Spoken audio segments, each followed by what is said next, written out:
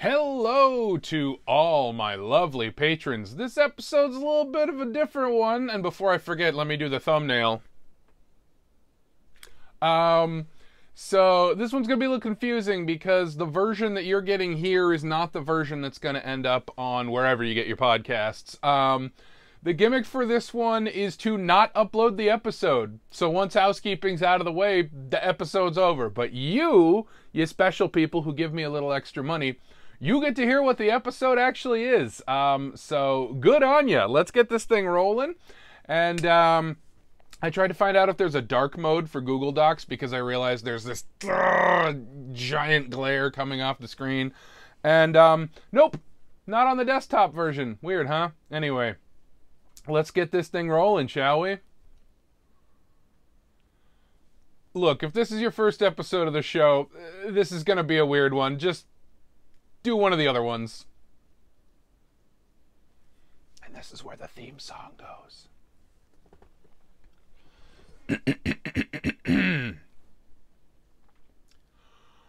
You're listening to Fix My Carcast, hosted by Bear Claw Billie, and this is episode 76. Comedian and musician Keith Hebert will definitely, for real, 100% be joining us later. But first, Housekeeping. This is the show where you pick what I say and how I say it. Pick a topic or prompt by donating to the GoFundMe and vote on the gimmick by joining my Patreon for just a dollar a month. Join at the $5 or higher level and also get bonus episodes and behind the scenes footage. Links are in the description. Also down there, merch. Get yourself some merch. You don't got to search for that merch. We got a link, you dink. Oops, sorry. That was mean. Excuse the profanity. No new donors this week. The total raised for paying off my car repair debt is still, still, still holding at $1,501. Also, when we get to $2,000, we unlock an automatic show gimmick, which is I will watch all the Fast and Furious movies back to back. There's like 11 of them now. And then record my podcast at the end, extremely exhausted. Fun fact did you know that this whole podcast disappears when we hit $3,000? Boy, let's hope we never do. Hey, do you like the theme song? No? Well, if you make a donation of $50 or more, in addition to picking an episode topic, you get to change one thing about the theme song forever. Unless somebody else changes it back. Want me to play the whole thing in reverse? Hey, that'll be super annoying, but I'll do it. 50 bucks.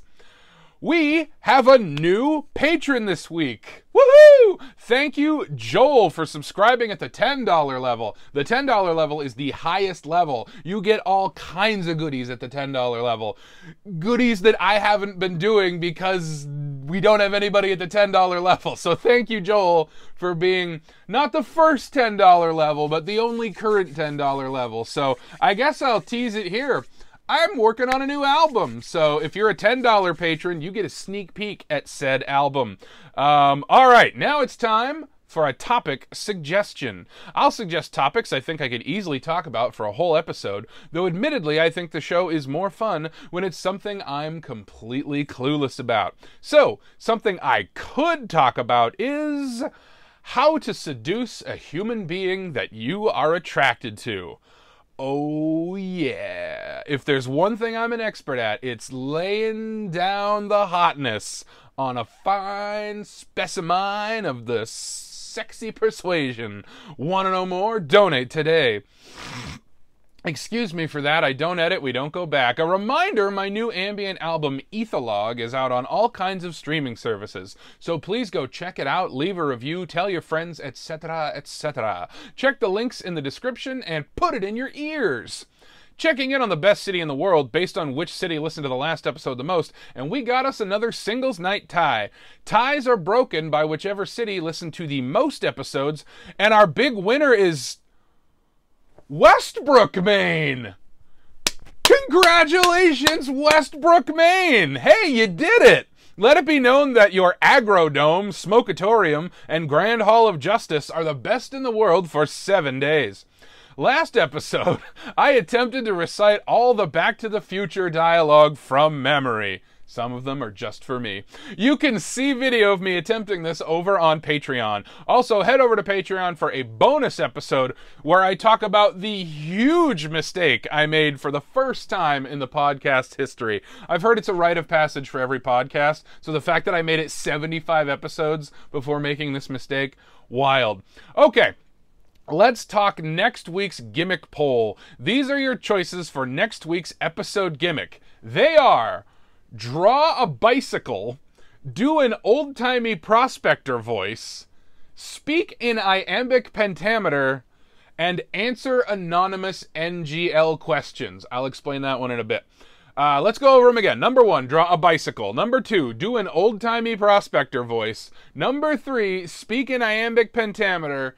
And number four, answer anonymous NGL questions. If you're not aware, NGL is this thing where you can anonymously submit questions. Typically, people answer them on social media, but I've put a link up, and I'll also put it in the description of this episode. I've put a link up where you can ask your anonymous questions, completely anonymous, and I'm not going to look at them until that episode airs. Unless something else wins, and then it's all for mood. I'll answer them later. But but yeah, I'm gonna keep the app closed for a whole week and then open it on the show. Um, sorry if that was confusing. I think it's a really fun idea though, so I want people to understand it. Um, anyway, there are no returning gimmicks because y'all ain't voting. Remember that any gimmick that gets just a single vote is eligible for a second chance in six weeks. So vote for the one you really want, even if it doesn't win. Be sure to vote over on Patreon. The poll closes Thursday, June 22nd at noon Eastern America time. Hey, that's three days before my birthday. Money, please. All right, time for today's gimmick, which is record the episode, but don't release it. That's right, you're about to not hear the missing episode of Fix My Car Cast. Of course, gimmicks don't start until housekeeping is out of the way in case any of them prevent me from sharing vital information. But now, we are entering the Gimmick Zone.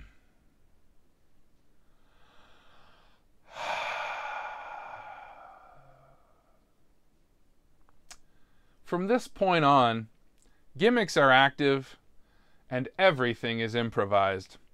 There's no sponsored topic for today's episode, so I'll take inspiration from a randomized Wikipedia page, which is. I forgot to queue up random Wikipedia page before I started recording. But guess what? Nobody can hear this, and by nobody, I mean you, you special cutie. You can hear this because you gave me money. You're a good person for giving me money. I'm stalling, but I'm not doing the thing I'm stalling for. Let's go find a random Wikipedia page, shall we? Ah, I I always have the link open and ready to go, but not this time. All right. Oh, what are you doing to me, Google? Yeah, just open it. Okay. Well, it always opens on a random Wikipedia page, but I always click next just so I don't get any extra, you know, time to look at it. So we almost could have had Microceratus, but I am going to hit it now, and today's topic is hopefully more interesting than Micro Microceratus. It is Jacob Parker. Oh boy! oh boy, it's a sports one. All right. Well, friends, today we're going to learn all about Jacob Parker, or it will remind me of something from my past and I'll just tell a story about sports, probably basketball. All right, friends. Well, Here's something that you all should be excited to learn. I never know what the angle to do is that you can see the screen, but you can also see me. Um, I really, you know, I'm not rich, as you can guess by the fact that I run a podcast where I beg for money um, in a way that some have described as fun and others have described as manipulative, and I want no part of it. well, my other option is don't do the podcast and get no money. Anyway, America. Hey, speaking of America, Jacob Parker is an American basketball player cool. I don't. I, I am so curious what team he was on. Um, I hope you can see the screen. By the way, I, I forgot to like adjust the balance for for this. Um, it's it's so funny. I feel like the whole tone of the show has changed because this one's not going out to the masses. And when I say the masses, I mean roughly four times the amount of people who hear it on my Patreon because let's get real here, people. This show does not pull in the listeners, or at least it hasn't yet. Um, hey, I'm supposed to be talking about Jacob Parker, but instead I'm talking about the podcast. And I'm fascinated by this psychological effect the fact that almost nobody will hear this. Um, and even the people who do listen to the podcast are almost nobody. They're not nobodies, they're cool somebodies. But but yeah, uh, the the whole mood feels different here. I just kind of want to get like introspective with you which is what I do on the bonus episodes. What is this show? It's about Jacob Parker, the basketball player. If you didn't know, he was born July 9th, 1993. Hey, that's coming right up. Early happy birthday, Jacob Parker. He competed collegiately for the Stephen F. Austin Lumberjacks. Go Lumberjacks! That is a great name for a team. Um, where I live, Columbus, Ohio, Maine, um, our local team used to be the Pirates, and then we were the Mariners. So I like that we took the evil off a little bit. Like, oh, we're not stealing your stuff. We're just enjoying the sea. I'm always fascinated by regional team names. Our hockey, yeah, our hockey team is the Mariners. Um, sorry, our basketball team is the Red Claws, and our baseball team is the Sea Dogs.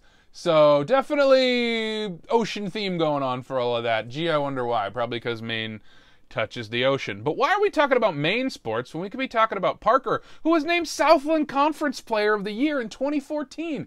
Go, Jacob! I'm so proud of you.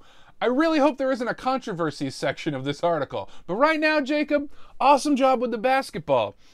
On July 29, 2015, uh, Parker signed a contract with Slovenian champions Cake. Uh, apologies if I don't pronounce this correctly. KK Sentjer of the Telemach League and the ABA League. Friends, that's the whole article. So I'm going to have to jump off from this one. We are in full AssCat territory. Not to ever admit that I steal the format of things, but um, welcome to the Chris Gethard Show. I may have talked about that in a previous episode, but yeah, after I came up with the whole gimmick of like, there's a topic and a gimmick I realized, oh shit, that's just the Chris Gethard show, but without my really hot wife in the band. Um, I do have a hot wife, um, but she uh, hasn't talked to me for a while. But that's okay. She's she's on her own journey. Um, so I am gonna talk about this. Uh, so believe it or not, even though I know almost nothing about sports, and straight up, I'm gonna stop showing you the actual Wikipedia article because that's how short it is. Um, well, on the on the plus side, there's no there's no controversies, Jacob Parker. So, good job, Jacob Parker.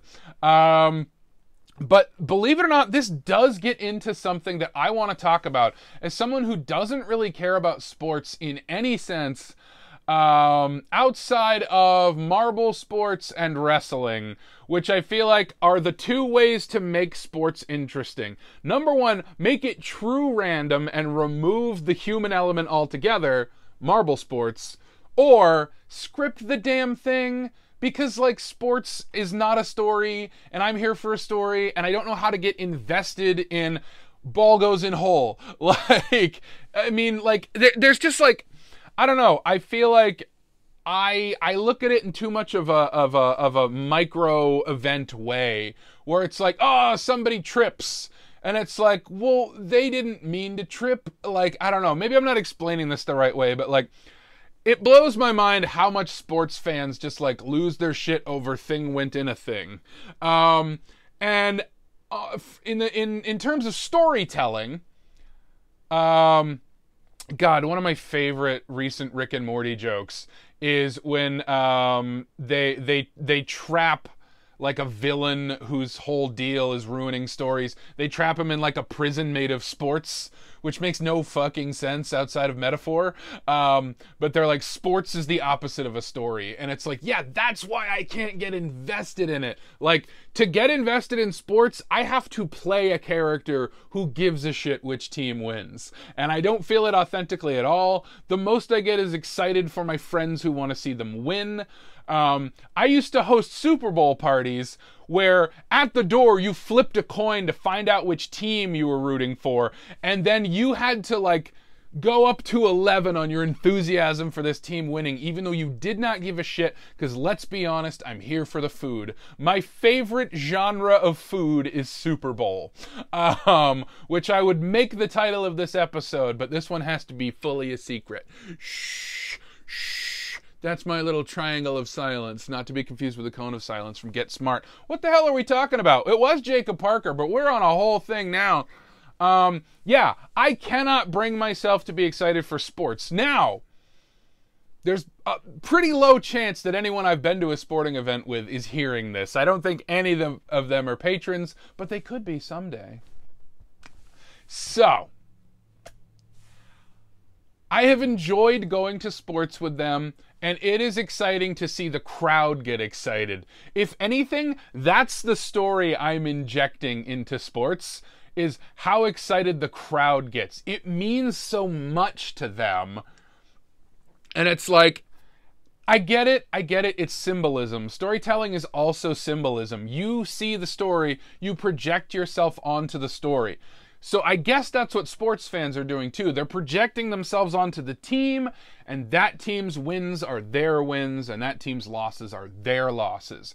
I guess on some level I get that. It's just too bare bones for me to get invested. I want a little panache. I want a little razzle dazzle on this thing. And again, that's what wrestling is. Wrestling is, hey, we're taking the format of sports, but there's like a storyline to follow. Um, and I should point out, I am very new to wrestling. Um, I got invited to watch WrestleMania at a friend's house, like, I don't know, four or five years ago. I don't know what time is because pandemic. Um, oh no, I said pandemic. Oh, the results for this are going to plummet. Ah! I've also said it twice. I shouldn't say it a third time because a certain character will show up. A character that I think only listeners of the bonus episodes know about. So let's not say that word again. Anyway, yeah, I watched, I started getting into wrestling about yeah, about 5 years ago, I think. I went to a WrestleMania. Um, and it was super fun. They put uh, a marker board up where you could make predictions about um, about what would happen at WrestleMania, and I was like, "Ooh, interesting." Um, I made a hail mary silly prediction as someone who knows nothing about wrestling, and it happened. Everyone in the room was shocked. Um, I don't remember which WrestleMania number it was. Um, honestly, I think it was right before uh, John Oliver did an entire episode about how corrupt uh, WWE is. And um, it was unfortunate to start learning about that stuff the more I got into wrestling. Um, but yeah, pretty terrible. Vince McMahon sounds like a horrible human being. Um, maybe he and Lorne Michaels should fuck off into the sun together, and someone who's not awful can run both of those things. Of course, you know the other thing that Lorne Michaels runs, right? SNL. It's SNL. Um, I would have put a joke there, but I couldn't think of anything else he produced fast enough. Late Night with Conan O'Brien, I think. Anywho, probably Late Night with Seth Meyers, too. How are we on Seth Meyers when we're talking about Jacob Parker? Eventually, I will get to the main thing I want to talk about, but I feel like you need to know my relationship with sports first. Why is this one flowing so easily? I don't know. There's just something about knowing that almost nobody's going to hear this. Dear Diary, I don't like sports. Um, not to be confused with the Huey Lewis album, which is okay. Um, but anyway, which reminds me of American Psycho, which reminds me of Phil Collins, which we're not going there. Done with that guy.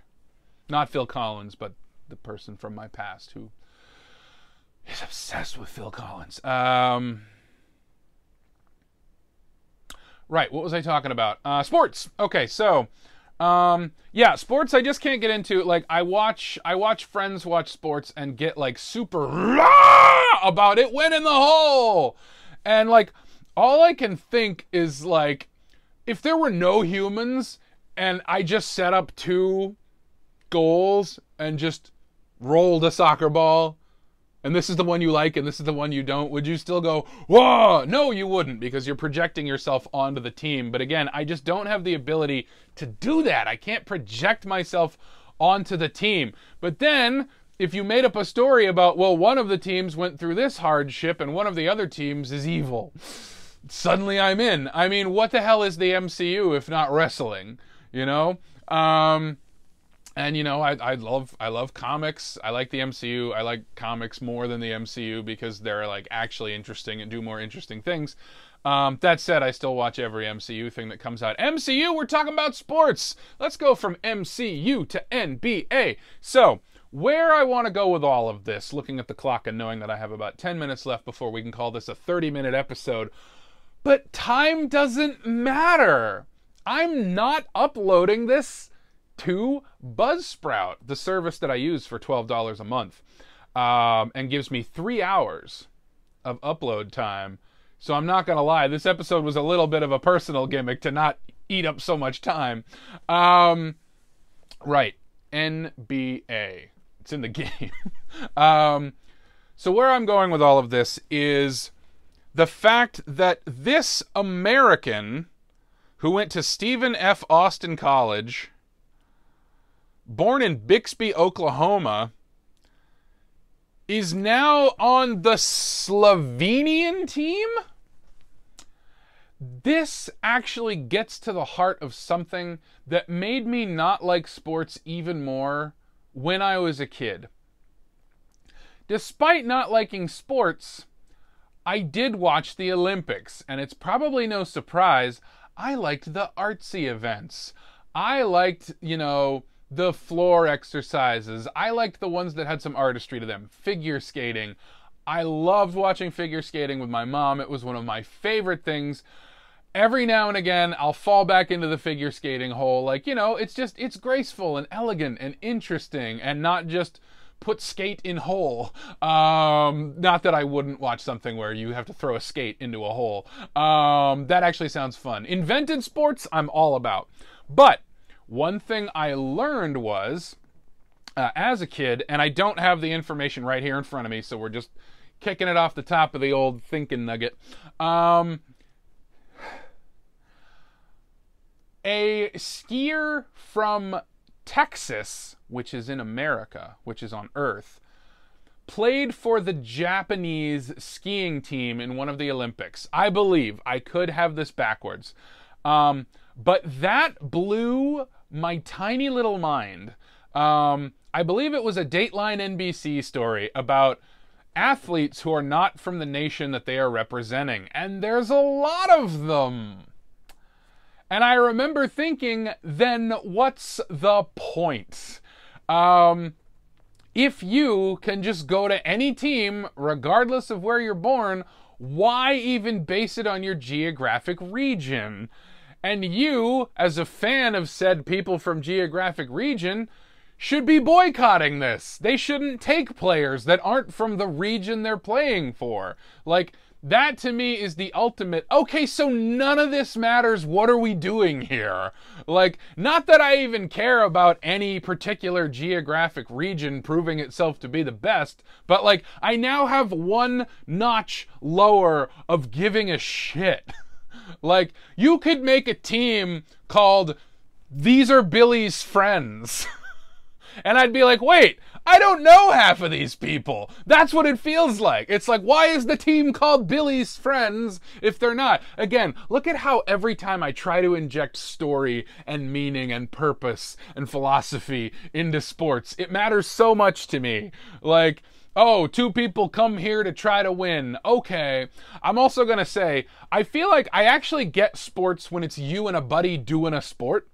Like, I I love to, you know, shoot hoops or or board games. I love board games, but like also like you know, I uh, admittedly I don't really like to exert myself, um, and I'll throw it out there because injuries are bad, and this is America, and it's hard to get health care. Straight up, whenever somebody invites me to anything physical, I'm like, mm, pass. Partly because I'm the fat one, I'm the slowest at everything, um, and it's annoying. People like try to hide it. Okay, when you're on a hike with a fat friend, you don't start moving again when the fat friend catches up. You take five, okay? Little tidbit for you. Um, but yeah, I just, I, I don't, I just, I feel like sports were ruined for me the day people showed up to watch them. I feel like I got the point of them until there were spectators, and now it's become about nothing but the spectators. And that's where I just lose it. Like, Um, so I think a lot about being an eccentric billionaire. Um, uh, it, side note: If you haven't read *The Magic Christian* by Terry Southern, uh, really fun book. Um, it's like shitpost the book. Um, it's literally just about a guy with a lot of money who pulls wild pranks on people. Um, the Magic Christian is the name of a boat. I feel like the title like off puts a lot of people. Um, he just tried to think of the silliest name for a boat.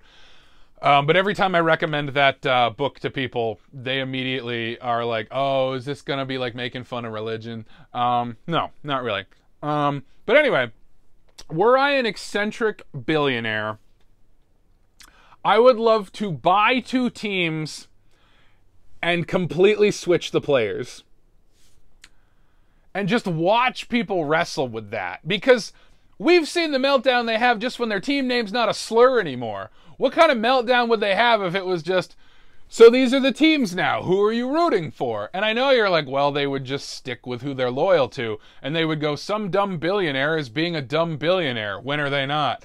Um, but I just, the, the sheer thought experiment of it is what I want to see. And and by the way, you can throw this back in my face and be like, "Oh yeah, well, okay, take something you like. What if Doctor Doom became Iron Man? They did that.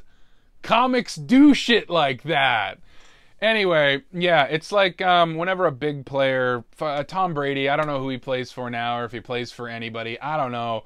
Like it's just kind of weird whenever like a star player moves to another team. It's like, so who what were you loyal to? And the answer is a shirt. You're loyal to a jersey, you're loyal to team colors. Hell, mascots I get. Whenever I go to a hockey game or a baseball game with my friends, I'm all about the mascot. I'm also about the food, and I'm also about being a little to a lot stoned. um, that's another way to make sports interesting and fun. Um, you didn't hear that from me, though. And in fact, it's pretty likely you didn't hear that at all. It's been really fun to do an episode where I'm just kind of talking to myself, but also to you, wonderful people. And maybe that's what we need to go out on. You know what's a true slam dunk? Joining my Patreon and supporting me, a really talented person who can't seem to catch a break in this crazy mixed up world. Thanks for listening, everybody. I think you've earned this one. Anyway, next week, something else. We'll see what it is. As always, play for the geographic region that you grew up in. It's so weird to mentally like feel that as being the ending of the show, but mmm the show hasn't ended because the Patreon version always goes a little bit extra. Um, I did not really talk about the topic that much, but again, they didn't give me much to go on. Um, what is the ABA League? I'm curious about this. Admiral Bet, men's Slovenia, Europe. Okay, so it's Europe. So yeah, this is an American player who went and played in Europe. Huh. Well, that was interesting. Um, friends, I don't want this to end. There's a there's a cool kind of intimacy to this, and I really like it. Um, I don't know why. This one was very interesting for me psychologically. It's it's gonna be hard to not upload the episode, but I, I can't break the gimmick. I can't break kayfabe. Um, I don't know. I feel so relaxed and calm because uh, this is only being listened to by people who like really really care. Uh, that or they just worry about me and they're giving me money and they don't actually watch any of the special features. Um, but that's okay. I don't want to end this. This has been a lovely time I've shared with you, patrons. Thanks for your support, as always. I hope it was worth joining my Patreon to hear this. And now you know how I really feel about sports. I am so glad I got to talk about something I genuinely care about. Horrible traitor, Jacob Parker.